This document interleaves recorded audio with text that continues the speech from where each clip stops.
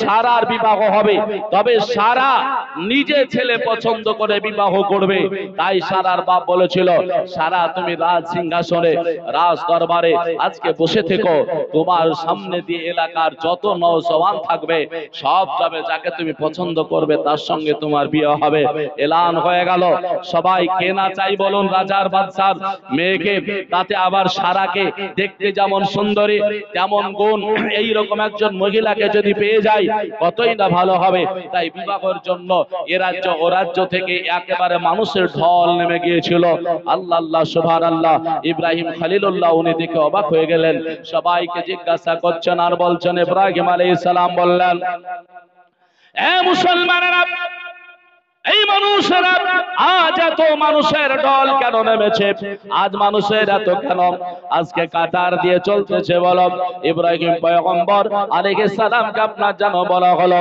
ইব্রাহিম, আজকে জানো না তুমি সারার বিবাহ হবে। আর সারার বিবাহর জন্য সুন্দর একটা পাত্রের দরকার রয়েছে। এই পাত্রটা আজকে জানো খোঁজ হচ্ছে, সারা যাকে পছন্দ করবে। তার আব্বা তার আব্বা বাদশাহ, সে তার বিবাহ দিয়ে দেবে, তাই নাকি বলে হাম একদিন যখন পার হয়ে গেল, সারা কাউকে পছন্দ করল না। তার আব্বা জান জিজ্ঞাসা করে, এ বেটি সারা, আজকে বলো না কেন? তোমার এখনও পর্যন্ত কি কোনো ছেলে পছন্দ হলো না? সারা বলে, না, আব্বা জান এখনও পর্যন্ত আমার কাউকে পছন্দ হয়নি। তাই নাকি বলে হাম সঙ্গে সঙ্গে সারা, এবার আপনার করলেন কি বসে রইলেন? দুই দিন পার হলো, ইব্রাহিম খলিলুল্লাহ, উনি আপনার জানো সেই সময় নওজওয়ান কাতারে সামিল হওয়ার জন্য সেই কাতার আপনার লাইন দিয়েছেন। যেমন বাবা ওই কাতার আপনার লাইন দেওয়া হয়েছে। সামনে যিনি দাঁড়িয়েছিলেন, উনি বলছেন, পরে ইব্রাহিম কান থেকে সরে যাও বলে, কেন? ইব্রাহিম গো, তোমার শরীরে ধুলা বালি লেগে আছে। যদি আমার শরীরে লেগে যায়, তাহলে সারা আমাকে পছন্দ করবে না। পিছনে জেনে দাঁড়িয়ে আছে, সে আপনার বলতে আরম্ভ করল, বলে, ইব্রাহিম, রাস্তার পাগল আজকে কাতারে কেন দাঁড়িয়েছ বলো? তোমার চাইতে কত সুন্দর, কত আজকে পরিষ্কার, কত ভালো মানুষ দাঁড়িয়ে আছে। সারা কাউকে পছন্দ করে না, তোমাকেও পছন্দ করবে না। ইব্রাহিম, আমাদের কাছ থেকে চলে যাও, আমাদের সাইডে তুমি দাঁড়াবে না। শরীরে যদি ধোলা লেগে যায়, তাহলে আমাদের কেউ পছন্দ করবে না।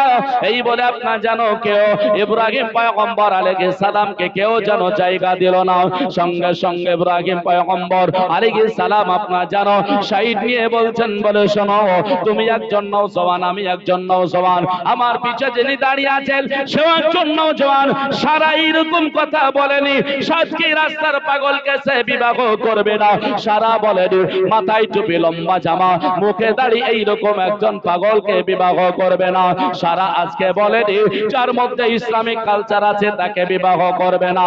সারা শুধু এলান করেছে, একটা নওজওয়ানকে বিবাহ করবে। অতএব আমি একটা নওজওয়ান আমার কাতারে দাঁড়ানো অধিকার রয়েছে। এই বলে ইব্রাহিম পয়গম্বর আলাইহিস সালাম আপনার জানো এক পা দুই পা করে কাতারে হাঁটতে আরম্ভ করে। সাইডে যারা ছিল, তারা বলল, আমাদের শরীরে যদি ধুলা বালি লেগে যায়, পছন্দ করবে না বলে তারাই যেন দূরে সরে গেল। আল্লাহ আল্লাহ, সুবহানাল্লাহ। ইব্রাহিম পয়গম্বর আলাইহিস সালাম এক পা দুই পা করে যখন ওই রাজ সিংহাসনের দরবারে গিয়ে হাজিরি দিয়েছে, এমন সময় দেখলেন অনেক মানুষ কাতারে লাইন দিয়ে রয়েছে। ইব্রাহিম পয়গম্বর সালাম, উনি সেই রাজ দরবারে রাজ সিংহাসনে বসে ফলো করলেন। সেই কাঙ্কার এক পিলারে মাথা লাগায়া উনি আল্লাহর জিকির করছেন, আল্লাহর স্মরণ করছেন, জোরে বলে, সুবহানাল্লাহ। যেমন স্মরণ করা আল্লাহর ধ্যান রয়েছে। ওনার মনের আশা, উদ্দেশ্য হলো, আল্লাহ তুমি আমাকে নাও সমান বানিয়েছো, পুরুষ বানিয়েছো, আজকে কাতারে দাঁড়িয়েছি, জানি না রব্বুল আলামিন আমাকে সারা পছন্দ করবে কিনা। তবে কাতার আল্লাহর ধ্যান হলো, আল্লাহ পাক রব্বে কায়নাতের জিকির হলো, এমন সময়তে সারা আপনার জানো সঙ্গে সঙ্গে ইব্রাহিম পয়গম্বরের দিকে ফলো করেছেন। যেমন ইব্রাহিম পয়গম্বরকে দেখা, সারার পছন্দ হয়ে গেল। সঙ্গে সঙ্গে সারা বলতে আরম্ভ করেছে। বলে, এ আমার দাসীরা সঙ্গে সঙ্গে বললেন দাসীরা, এ আমার বোনেরা, আর দেরি করা যাবে না। বলে, কেন? বলে, আমার মনের মানুষকে পেয়ে গিয়েছি। আমাকে বিভাগের সাজনে আজকে সাজাতে আরম্ভ করো। আমার মনের মানুষ আমার প্রিয়জনকে পেয়ে গিয়েছি। আমি তাকে বিবাহ করব। সবাই আনন্দিত, আত্মহারা হয়ে গেল। সবাই বলল, সারা, ও বোন, আপনি আজ আমাকে বলুন ও বলছে বোন আমাকে বলুন ও বলে বোন আমাকে গায়ে আপনার ছেলে পছন্দ হয়েছে। কোন ছেলেটা আপনার চয়েস হয়েছে এত সুন্দর ছেলে আজকেই সেখানে কে রয়েছে? এত সুন্দর ছেলে সামনে দিয়ে চলে গিয়েছে, যেখানে দাঁড়িয়ে আছে। এইখানে এতগুলো ছেলে, এর মধ্যে এর চাইতে সুন্দর সুন্দর ছেলে চলে গিয়েছে। কাউকে আপনি পছন্দ করেননি? সবাই বলল, আজকে দেখান আজকে দেখান, কেউ নানটাও কোন ছেলেটা আপনার চয়েস হয়েছে সারা রাদিয়াল্লাহু তাআলা উনি বলতে আরম্ভ করলেন, বলে, বিবাহ আগে নয় গো, আমার যাকে পছন্দ হয়েছে, আমি মালাটা তার গলায় পরিয়ে দেব। সবাই মনে করল যে, কোন একটা সুন্দর ছেলেকে হয়তো পছন্দ করেছে। হযরতে সারা রাদিয়াল্লাহু তাআলা উনি এক পা দুই পা করে করে আস্তে আস্তে আপনার এগিয়ে যেতে আরম্ভ করলেন। সারার আব্বা জান এসে উপস্থিত হয়ে গেল। আব্বা জানের কাছে প্রথম দিলেন।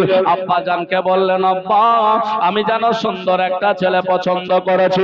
আব্বা হুজুর বলতে আরম্ভ করল, বেটে রে, তাড়াতাড়ি করে তুমি ছেলেটাকে আমাকে দেখিয়ে দাও। তোমার বিয়ের জন্য আমি প্রস্তুতি নিয়ে নিয়েছি, অসুবিধা নেই।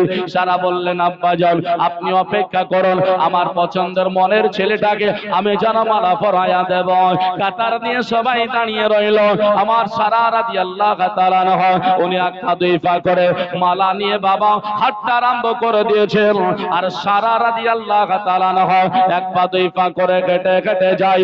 আর সারার সামনে নৌসুমানেরা আপনার যেন গলাটাকে লম্বা করে দিয়ে মালা গলায় পড়তে চায়।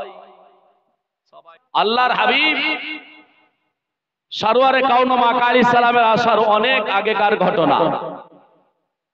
বাপ মনে করেছে সুন্দর ছেলের গলায় মালা পরবে। আর সবাই বগের মতো লম্বা করে গলাটা বাড়িয়ে দেয়। একবার যদি মালাটা পরিয়ে দেয় রাজ সিংহাসন সমস্ত মালিক আমি। কারণ সারার তো আর কেউ নাই। মুসলমান আমার ভাইরা এই করে করে সবার গলা লম্বা হয়ে যায়। সারা রাতি আল্লাহ কারও গলায় মালা বাবা পরাতে চাই না, কারও গলায় মালা আপনার যেন পরায় না। উনি এক পা করে করে সেই পিলারে মাথা দিয়ে হেলানা দিয়ে জানি জানিয়েছিলেন, যিনি আল্লাহর জিকির করতেছিলেন। আল্লাহ পাক রব্বুল আলামিন বলেছেন, তুমি মসজিদে নামাজ পড়তে গিয়েও তোমার যেন শান্তি হলো না। কারণ হলো, তুমি হাতটা কোথায় বাঁধবে তোমার ঝগড়া এখনও মিটলো না। কে বলে নাভির নিচে হাত বাঁধো, কে বলে উপরে হাত বাঁধো, কে বলে হাত ছাড়ো কে বলছে পা এত কানা ফাঁকা করো। মসজিদে নামাজ পড়তে গিয়ে কোন রকমের কোন আপনার যেন শান্তি পাওয়া গেল না। আমার আল্লাহ বলে, আলা বিজিকিরিল্লাহি তাতমাইন্নুল কুলুব। আল্লাহ পাক রব্বুল আলামিন উনি বলছেন, বলে, তুমি যদি অন্তরে আল্লাহর জিকির করো, কোথাও শান্তি যদি না পাও, তাহলে তোমার অন্তরে আল্লাহর জিকিরে বেশি শান্তি লাভ করবে। ইব্রাহিম খলিলুল্লাহ আল্লাহর জিকির করছেন, আল্লাহ স্মরণ করছেন, আল্লাহ আল্লাহ, এমন সময় সারা উনি যেন আপনার ওই মালাটা নিয়ে গিয়ে ইব্রাহিম আলাইহিস সালামের আপনার যেন গলায় পরিয়ে দিয়েছেন। ইব্রাহিম আলাইহিস সালাম উনি আপনার যেন তাকায়া তাকায়া দেখছেন। ইব্রাহিম আলাইহিস সালামের গলায় মালা পরানো হলো। সবাই যেন ছিছি করতে আরম্ভ করল। সবাই বলছে, বলে, সারা, তুমি এত বড় জঘন্য কাজ করে ফেললে। সারা রে, আজ তোমার দ্বারা এত বড় জঘন্য কাজ হয়ে গেল। কারণ হলো, এত সুন্দর ছেলে ছিল, এত সুন্দর এখানে করে। আজকে নওজোয়ানেরা ছিল, কাউকে তোমার পছন্দ হলো না। কারও গলায় মালা দিলে না। আজকে ইব্রাহিমের গলায় কারও মালা পড়ে গেল। আমার সারা রাদিয়াল্লাহু তাআলা সেই দিন বলেছিলেন, আজকে জানো শোনো শোনো তোমরা, আমাকে চিঠি করে লাভ হবে না। সারা আব্বা হুজুরের কাছে গেল, চিঠি করে বলতে লাগল, আপনি এখান রাজ্যে রাজ্যের বাদশাহ, আপনার মেয়ে এমন একটা রাস্তার পাগলকে বিবাহ করার জন্য প্রস্তাব দিয়ে দিল। একটা পাগলকে মাথায় টুপি, লম্বা জামা, মুখে দাড়ি নিয়ে ওই রাস্তার পাগলটাকে বিবাহ করার জন্য মালা পরিয়ে দিল। আপনার লজ্জা আপনার লজ্জা। এই বলে সবাই যখন আপনার খারাপ ভাষায় কথা বলতে আরম্ভ করল, আব্বা গজর বেটি সারাকে ডাক দিয়ে বলল হ্যাঁ বেটি, শোনো, আজকে তুমি এত বড় কাজ কেন করলে বলো? এই ইব্রাহিমকে বাতি আর কি কোন ছেলে তোমার পছন্দ হলো না? আর কি কাউকে তোমার পছন্দ হলো না? ইব্রাহিম আজকে কেন তুমি মালা পরালে বলো? সেই দিন সারা উনি বলেছিলেন, বলে, আব্বা গো, যেই চোখ দুটো আমার আল্লাহ দান করেছে, এই চোখ দিয়ে যখন আমি দেখলাম ইব্রাহিমকে বাদে কাউকে পছন্দ হলো না, যে অন্তর দিল আদালত আল্লাহ দিয়েছে এই আদালতের দিকে একবার ফলো করে দেখলাম। এই আদালতটাকে একবার বিচারে ফেলে দিলাম। আদালত ইনসাফ করল, সঠিক নাই বিচার করে দেখল। বলে, এতগুলো নওজওয়ান যারা আছে, ইব্রাহিম ছাড়া আর কাউকে পছন্দ করল না। রায় দিয়ে দিল, এই আদালত, এই কালবামার রায় দিয়েছে। বলে, ইব্রাহিমকে বিয়ে কর। চোখ বলেছে, ইব্রাহিমকে বিয়ে কর। তাই আমি আর দেরি না করে আপনার আমার মনের পছন্দ, মনের ছেলেটাকে আজকে আমি মালা পরিয়ে দিয়েছি। আব্বা, আমি আর কোনো দিকে তাকাতে চাই না কোনো দিকে দেখতে চাই না। আমি ওই ইব্রাহিমকে বিয়ে করতে চাই। জোরে জোরে বলে, সুবহানাল্লাহ। রাজার আজকে কন্যা হয়ে, বাদশার কন্যা হয়ে একজন পথের ফকির বলে আপনার যেন সেই দিন দেখেছিলেন না। সারার অন্তর ইব্রাহিম নবীকে চিনে গিয়েছিল। চক্ষুটা ইব্রাহিম পয়গম্বর আলাইহিস সালামকে আপনার যেন চিনে গিয়েছিল। আফসোস লাগে গো আজকে আমাদের দুই নয়ন আল্লাহ এত সুন্দর দিয়েছে, কিন্তু কোরআন চিনলাম না না নবী চিনলাম। ঝগড়াই ঝগড়া ঝগড়াই ঝগড়া, শুধু মাসলা মাসলা ফতোয়া দিতে আরম্ভ হলো। আজকে আপনাকে, আমাকে আপনি কি বলব? আমি যে কথা বলছিলাম, প্রথমে যে কথাটা বলেছিলাম, নবী মানুষ, আমরাও মানুষ, মানুষে নয়। নবীকে মানুষ আমরাও মানি, আজ আপনারা নয়। সারা বিশ্বের মমিন, মমেনা, সমস্ত মানুষ নবীকে মানুষ বলে মেনে নিয়েছে নবী তো মানুষই না কি গো আমার সঙ্গে এক দেওবন্দি কথা বলছিল। কি বলছিল জানেন? উনি বলছেন নবী সাল্লাল্লাহু আলাইহি সাল্লাম নূর না। উনি মানুষ। তো আমি বলছি মানুষে তো দ্বিমত নাই আছে নাকি? মানুষে দ্বিমত নাই। আপনি নূরের কথা বলেন। আমি কোরআন থেকে নাবি নূর তার একটা দলিল দেব আর আপনি কোরআন থেকে একটা দলিল দেন নবী নূর না। কোরআন থেকে হাদিস থেকে একটা দলিল দেন যে নবী নূর না। আল্লাহ কোথাও বলেছে নবী আপনি নূর না। আর কোরআনের সূরা মাইদার 15 নম্বর আয়াত আল্লাহ নবীকে নূর বলেছেন। মুসলমান আমার ভাইয়েরা, এর জন্য আফসোস লাগে, যেই ঘরে ঝগড়া ছিল না, দ্বন্দ্ব ছিল না, সেই ঘরে ঝগড়া, দ্বন্দ্ব এসে হাজির হয়ে গেল। যাই হোক, যে জীবনীটা নিয়ে যাচ্ছিলাম হাজরাতি সারা তাআলা আনহা, যখন মালা পরি, এরকম বাপের সঙ্গে কথা হয়ে গেল। আপনার দাসীদেরকে বলল দাসীরা আর দেরি নয়, তাড়াতাড়ি করে আমাকে বিয়ের সাজনে সাজায়া দাও। সঙ্গে সঙ্গে যারা দাসী ছিল, সেই দিন আপনার যেন সারাকে সুন্দর করে বিবাহর সাজনে সাজায়া দিল। সুন্দর করে আপনার যেন সাজানো হয়ে গেল। সঙ্গে সঙ্গে সারা আপনার যেন ইব্রাহিম পয়গম্বর আলাইহিস সালামকে আপনার যেন বিবাহ করে ফেললেন। এমন সময় ইব্রাহিম আলাইহিস সালাম আপনার যেন বিবাহ করে যাবেন কোথায়? সারা বলছেন, আব্বা যান খবরদার, আমার স্বামীকে আপনি কোথাও পাঠাইয়া দেবেন না। আমার স্বামীকে আপনি যেন কোথাও হটাইয়া দেবেন না। আমার স্বামীকে আপনি আমার বাড়িতে রাখুন, আমার কাছে রাখুন। ইব্রাহিমকে আমি বাড়িতেই রাখতে চাই, আর কোথাও নয়। ইব্রাহিম পয়গম্বর আলাইহিস সালামকে আপনার যেন কাছেই রেখে দিলেন। আল্লাহ আল্লাহ, এক, দুই করে করে আপনার যেন জীবন কাটাতে আরম্ভ করেছেন। আমার আল্লাহ রাব্বুল আলামিন ইব্রাহিম পয়গম্বর আলাইহিস সালামকে একটাও যেন সন্তান দিলেন না। উনি বড় লজ্জিত হয়ে গেলেন। কারণ হলো, আজকে আমাদের মধ্যে ইব্রাহিম আলাইহিস সালামের মধ্যে দেখুন, কার মন ভালো ছিল? আমরা আজকে দেখতেছি, অনেক বাড়িতে আপনার যেন বাচ্চা হয় না। এই রকম মানুষ অনেক আছে, আল্লাহ তাদেরকে সন্তান দেয়নি। আছে না? অনেক আছে। আচ্ছা বলেন তো ওই বাড়িতে লোকটার উপর অত্যাচার হয় না, মেয়েটার উপর অত্যাচার হয়? বাচ্চা না হওয়াতে মেয়েটার উপর হয় না? মেয়েটার উপর। ভাই অত্যাচার করে কি হবে? নাকি? দোস্ত বেটারও বেটা ছেলেরও হতে পারে, নারীরও হতে পারে, কিন্তু দোষ বেশিরভাগ বেটা ছেলের, কারণ বাচ্চা থাকে পুরুষের কাছে।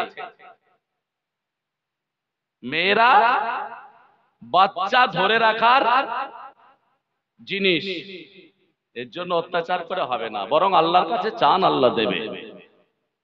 আল্লাহর কাছে চাইতে হবে, অনেক পদ্ধতি আছে, আল্লাহ পাক বাচ্চা দেবে। আপনি মেয়েটার উপর অত্যাচার করে কোনো লাভ নেই। তারপর আর আরেকটা কি হয়? যে কন্যা সন্তান যদি একের পর এক হয়ে যায়, তবুও মেয়েটার উপর অত্যাচার হয়। হায় হায় হায়। মেয়ের কোনো দোষ নাই বাচ্চার মধ্যে। চুল পরিমাণ দোষ নেই। কন্যা সন্তান মেয়ে জন্ম দেয় এটাই আপনি ওকে কন্যা সন্তান ধারণ করিয়েছেন। আপনি আমি ধারণ করিয়েছি যে আমাদের স্ত্রীর গর্ভে যখন সন্তান ধারণ হয় আমাদের পৃষ্ঠ থেকে যায়। এটা মনে রাখতে হবে যে বাচ্চা পুরুষের বিবাহ পড়াতে গেলে কলেজে স্কুলে গেলে আপনার কোথাও পরিচয় চাইলে মার চাই না বাপের চাই। বাপের চাই না? তাহলে সেই দিন বাপের চাই কারণ সন্তান বাপেরই। বাপ বলতে পারবে সন্তান কার? বাপ বলতে পারবে? বাপ পারবে না সন্তান কার বলতে?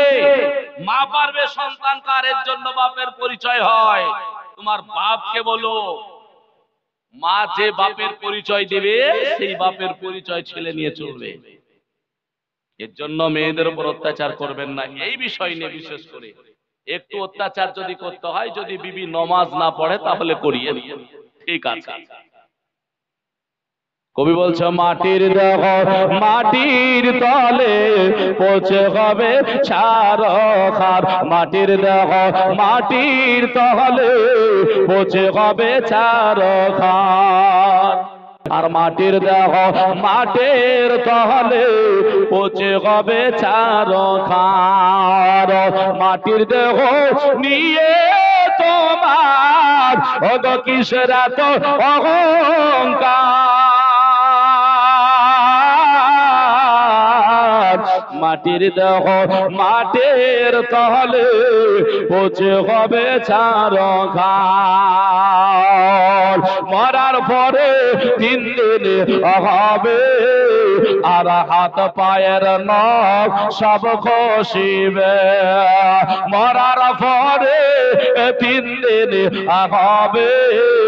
আর হাত পায়ের নখ সব খসিবে আর চার দিন কার দিন হলম খসিবে। আর চার দিন কার দিন হলম খসিবে। পাঁচ দিনে মগজ কোলে ছাড়ো খা মরার পরে ছয় দিন হবে। আর ফেট ফেটে নারী ঘুরে বের হবে মরার পরে ছয় দিন হবে। আর ফেট ফেটে নারী ভরে বের হবে পুরা ষাট টাকা দিন রবে। পুরা ষাট ওটা দিন রবে দেহ গোলে ছাড়ো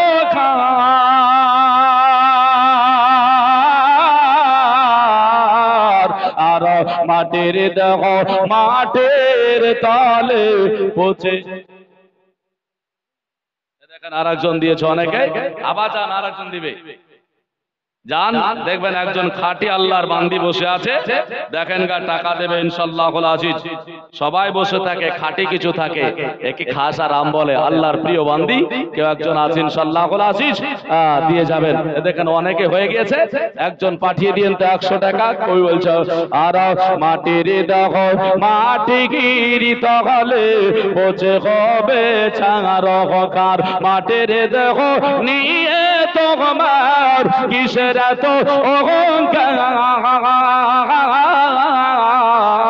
অহংকার মাটির দেহ, মাটির তহলে পচে হবে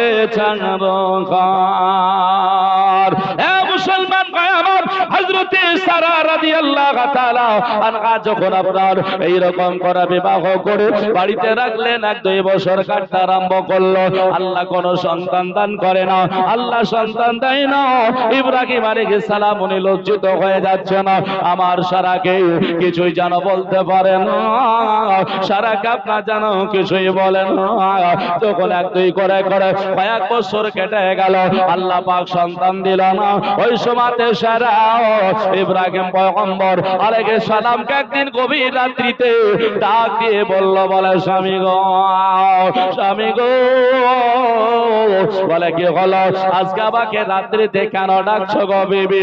সারা রাতি আল্লাহ উনি বলতে আরম্ভ করলেন, বলে, স্বামী গো, আপনার মনটা যেন খারাপ হয়ে যায়, আপনার মনটা যেন ভীষণ খারাপ হয়ে যায়। এর জন্য বলি, শোনো আমার স্বামী গো, মন খারাপ করে কোনো লাভ হবে না। আল্লাহ আমাদেরকে বাচ্চা দেয়নি বলে আপনার মন খারাপ করবেন না। আর সারা বলে, হুজুর আল্লাহ যদি আপনাকে কোনো বাচ্চা না দেয়, আপনার ভিটেতে আজকে বাতি জ্বালানোর কেউ থাকবে না, আপনার ভিটেটার আজকে নাম থাকবে না, আপনার নাম নিশান মুছে যাবে হুজুর। এর জন্য রাত্রিতে আপনাকে আমি বলে দিই হুজুর, আপনি একজন পছন্দ করে একজন সুন্দর মহিলাকে, সুন্দরী রবিনা রমণীকে আমি হুকুম দিতেছি, আপনি পছন্দ করে বিবাহ করে নিন। কোন আছে বিবি? আল্লাহ আল্লাহ সুবহান আল্লাহ সারা যখন নিজে অনুমতি দিয়েছেন ইব্রাহিম আলাইহিস সালাম, আল্লাহর আল্লাহ নবী, উনি বলছেন, বলে, বিবি গো, আজকে রাত্রিতে তুমি আমাকে এই কথা কেন বলছো বলো? ও গো বিবি গো, আজকে তুমি আমাকে এরকম কথা বলছো কেন? বিবি বলে, হুজুর গো, আপনার ভবিষ্যৎ তাকায়া, আপনার ভিটার দিকে তাকায়া, আমি বললাম, আপনি বিবাহ ইব্রাহিম খলিলুল্লাহ, উনি বললেন, বলে, বিবি রে, আজ যখন তুমি আমাকে করে এলান করলে করে অনুমতি দিলে, যাও বিবি, আমি তোমাকে অনুমতি দিই। পছন্দ করার দায়িত্বটা আমি তোমাকে দিলাম। তুমি একটা মেয়েকে পছন্দ সারা বলছেন, হুজুর, আমি কেন পছন্দ করব? আপনি করবেন। বলে না। সারা বলছে হুজুর বিবাহ করবেন আপনি পছন্দ আপনাকেই করতে হবে। সারা রাদিয়াল্লাহু তাআলার কথা শুনে ইব্রাহিম সালাম অবাক হয়ে যাচ্ছেন। কথাটা তো ঠিকই বিবাহ তো করব আমি পছন্দ তো আমাকেই করতে হবে। অনুমতি তো উনি দিচ্ছেন। উনি শেষখানে বললেন উনি কি বলছেন জানেন? আর একজনে দেখেন, বোন আমার দুশো টাকা দিয়েছেন। আলহামদুলিল্লাহ মাশাল্লাহ আল্লাহ দানকে কবুল করুক সকলে বলে আমিন। ইব্রাহিম আলাইহিস সালাম, উনি বললেন, আমি পছন্দ করে বিয়ে করতে পারব না। ওনার বিবি বলছেন, কেন? বলে, একটাই কারণ বেবি, আমি বিবাহ করব, পছন্দ করব, সব ঠিক আছে।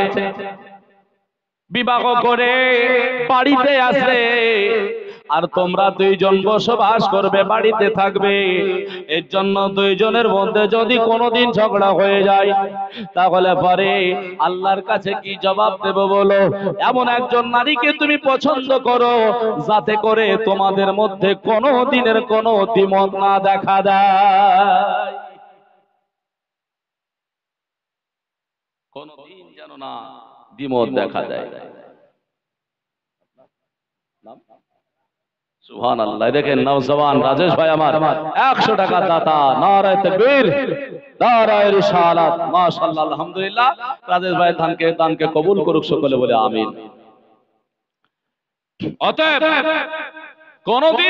দুজনের যদি দ্বিমত দেখা দেয়, অসুবিধা আছে। তাই তোমাকে পছন্দ করতে হবে। এমন একজনকে পছন্দ করো, যাতে করে কোনোদিন দ্বিমত না দেখা দেয়। হজরতে সারা রাদি আল্লাহ উনি বলতে আরম্ভ করলেন, ওগো আমার স্বামী গো, তাহলে আমি যাকে বলব আপনি পছন্দ করে বিবাহ করবেন। ইব্রাহিম খলিলুল্লাহ আলাইহিস সালাম বলছেন, চিন্তা করবেন না, আজকে বিবিকে কত সুন্দর ভাষায় কথা বললে। বলছে, আমি সেটাই বিবাহ করব, সুন্দর করে তার আপনার যেন পছন্দনীয়। একটা নারী সারা রাদি আল্লাহ বললেন, বলে, ওগো স্বামী গো, একটাই আমার পছন্দ আছে সেটা। দেখেন একজন বাবজি পঞ্চাশ টাকা দিয়ে পাঠিয়েছেন। আমি বলেছি সুভান আল্লাহ মাশাল্লাহ আলহামদুলিল্লাহ, বক্তা চলে এসেছে। সুদূর দিনাজপুর থেকে এসেছেন। অনেক কষ্ট করে, মেহনত করে। মেহমান আপনাদের কাছে এসেছে। আপনারা একটু মেজমানদারি করবেন। যতক্ষণ উনি আছেন ততক্ষণ ওনার সম্মানার্থে থাকবেন একটু দোয়া নেবেন মুসাফির মানুষ।